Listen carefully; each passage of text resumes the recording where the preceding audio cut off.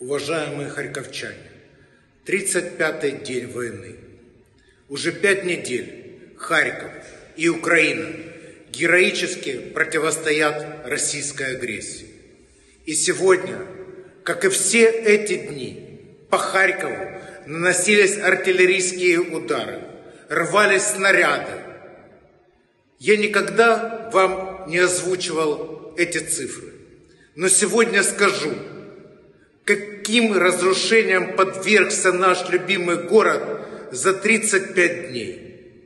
Всего в Харькове разрушен 1531 объект, в том числе 1292 жилых дома.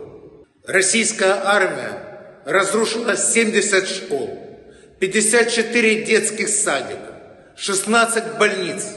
В руинах 239 административных зданий. И это я говорю только об объектах гражданской инфраструктуры, о человеческие жизни обычных харьковчан. Каждая из них бесценна. Каждая унесенная агрессором жизнь – это боль и страдания. Не разрушенного города, не безвинно убитых харьковчан – взрослых, детей мы с вами никогда не забудем. Об этом я сегодня говорил, выступая перед депутатами городского совета Нюрнберга, города, в котором международным трибуналом после Второй мировой войны был осужден нацизм. А нацисты, развязавшие Вторую мировую войну, понесли заслуженное наказание. К сожалению, этот урок не был извлечен страной агрессором. То, что сегодня делает Российская Федерация с мирным народом Украины, это геноцид против украинского народа. Война на уничтожение украинской нации. Я уверен, пройдет время, и после нашей победы весь мир сделает выводы.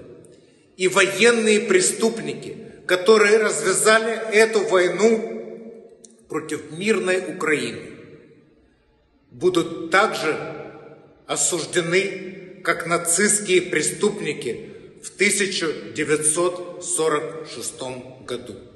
И я очень хотел бы, чтобы война больше никогда не повторилась. А пока нам необходимо продолжать нашу борьбу на военном фронте, на дипломатическом фронте, на фронте коммунальном. Я обращаюсь к харьковскому бизнесу. Городу и стране надо перезапустить экономику президент и правительство. Последние недели значительно упростили правила ведения бизнеса, существенно снизили налоговые ставки. И я прошу харьковских предпринимателей, постепенно возвращайтесь к работе. Да, сейчас по многим причинам невозможно сделать это в полном объеме, но в сокращенном это можно сделать. Выходите, работайте, зарабатывайте, поднимайте экономику. Этого ждет от вас Харьков, этого ждет от вас Украина. И, конечно, слова глубокой благодарности нашей армии которая обороняет наш город. Бойцам территориальной обороны, нашим спасателям, нашим врачам, нашим коммунальщикам. Каждый из вас делает все для нашей победы. Мы, украинцы, народ-герой. И нас с вами не завоевать никому, никакому агрессору. Наша победа с каждым днем все ближе. Мы вместе. Мы харьковчане.